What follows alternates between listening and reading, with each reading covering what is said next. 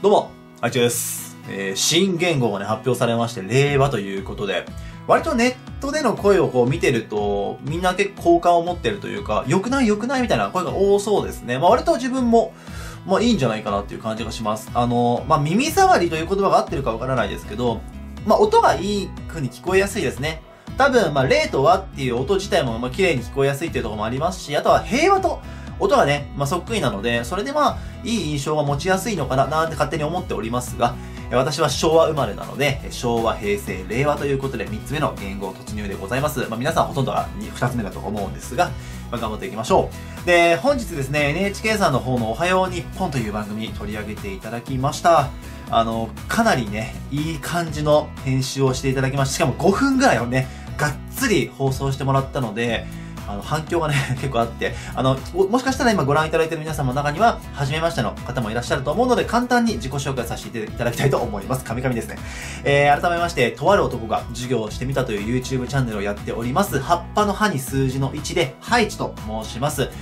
名前をぜひね、覚えていただけたらと思います。で動画の内容としましては、えー、勉強動画がメインなんですけども、えー、小学校3年生から高校生までが学校の授業で習うレベルです。基本的には。まあちょっと難しいのももちろん入れてるんですけど、学校の授業のね、レベルのもん、えっと、動画をですね、特徴としては、例えば有名な過去問とか難しい、まあ高校、大学の過去問をね、取り上げるという形ではなくって、中学校3年生の数学っていうシリーズ、まあ、結構本数あるんですけど、そのシリーズを見ていただけると、え教科書丸々1冊が勉強できますという、そういうスタイルで撮ってます。なので、例えば普段の学校の授業でなんかわかんなかったなって思う時とか、まあ定期テスト、中間テストとか期末テストの前に、あ定期テストの勉強どうしようなんて思った時に、えー、うまく使っていただければ、多少ないとも、えー、皆さんのお力添えができるかなと思います。まあ使い方はそれぞれ人それぞれ違いますので、うまく使っていただけたらと思うんですが、まあ、そんな感じで動画投稿しております。で、あとはこんな感じで、え顔を出してですね、話す動画も結構撮っておりまして、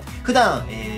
ユーザーの子、まあ、学生の皆さんから相談だったり、え、質問だったりをいただくので、そういうのに顔出しで質問に答えたり、悩み相談に答えるなんていう動画も撮っております。まあ、どんな、いろんな内容があるんでね、まあ、3000本ぐらいあるんで、全部見てくれとはなかなかね、声を大にしては言えないところではあるんですが、皆さんにとって必要だと思うものをピックアップして、使っていただき、そして皆さんの学校生活、学生生活がちょっとでも充実したものになればなと、その力添えができればなと思っておりますので、うまく使ってみてください。で、えっ、ー、と、まあ、改めてね、今日4月1日ということで、えー、まあ、新言語の発表もね、わーわーなってますけど、まあ、皆さんも学年が今日で1個上がったわけです。中学校3年生は今日から高校1年生です。ね。小学校6年生だった子は今日から中学校1年生になるわけです。で、新しい、え年度になりましたんで、まあ、今年度もね、よろしくお願いしますっていうことを言いたいことでもあるんですけど、ぜひですね、まあ今日スタートです。まあ、エイプリルフールって盛り上がってるとこもあるけどね、新言語ってなってるけど、ぜひ、あの、新しいスタートなので、ちっちゃなことでいいんで、1個皆さん目標を立てましょう。あの、自分はね、1月1日に毎年、えっと、今年度、本年度今年の目標って立ててやってるわけですけど、ぜひ皆さんも、え、目標1個でいいんで立ててやってみてください。何か、えっと、いっぱい複数決めると、こう、まあ、それでもね、動ける方は動けると思うんだけど、いっぱい決めすぎちゃうと、あれもこれもってなっちゃう。なっちゃいそうだったら1個でいいので、これをやると。できれば、えっ、と、何位取るとか、まあみんなのテストでね、10位何位取るとかでもいいし、できればね、それよりは、えの、行動の方がいいと思います。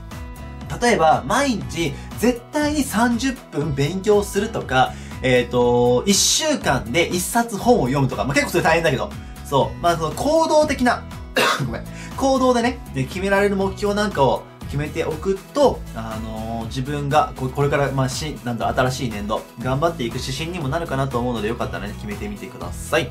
で、自分の方もね、3月ちょっとほんとバタバタで勉強動画なかなか撮れなかったんですけど、今日から4月に変わって少しね、スケジュールも落ち着いたので、あの、勉強動画の方再開していきます。で、まずは、数3だね。高校生の数3がすげえ中途半端に止まっちゃってるので、微分の残りと、あと積分だね。えー、それを取って、あとは他にちょっとやりたい構想、動画の勉強動画のね、構想があるんで、その辺も、えー、ぼちぼち動きつつ、まあ、今年もね、勉強動画中心に、こうやって今顔出して話したりする動画もね、いろいろ撮っておこうと、撮っていこうと思いますので、ぜひね、今年度もどうぞよろしくお願いします。という話でございました。